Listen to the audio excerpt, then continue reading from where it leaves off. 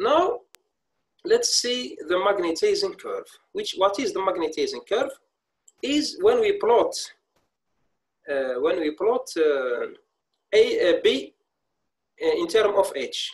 So the BH characteristics is shown in the figure number two, is known as a magnetizing curve.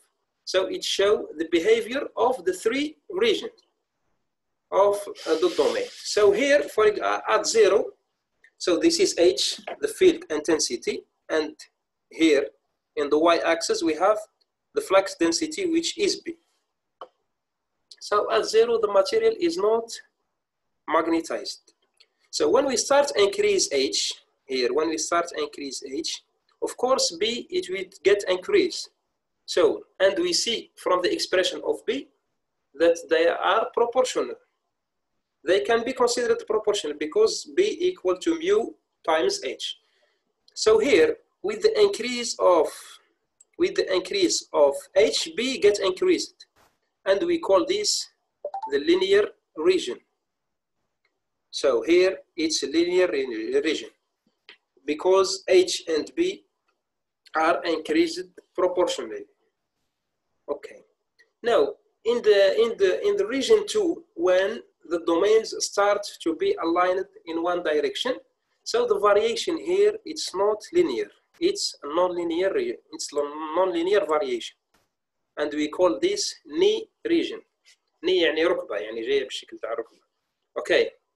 This second region can be called knee region or we can be called uh, uh, nonlinear region.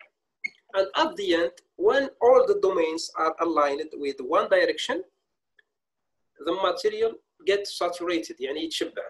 So now here, B, it will not increase anymore. Whatever you increase H, B, it will not get increase.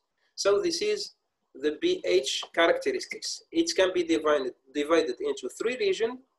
The linear region, when we increase H, of course, H, it can be increased by the current. H in the, you know, we know, we have seen from Ampere's law, H equals to N I over L, over L. So it can be increased by the number of turns or it, can be increased by the current. So at the beginning in the linear region, whatever I increase H, B gets increased because they are proportional. Then when the material starts to be magnetized, now B and H will not variate proportionally. Okay, so we call this knee region or it can be called nonlinear region. And at the end, we increase H, but B will not increase anymore, and we call this uh, saturation region. So here, the flux density B increase almost linearly in the region, so in the first region.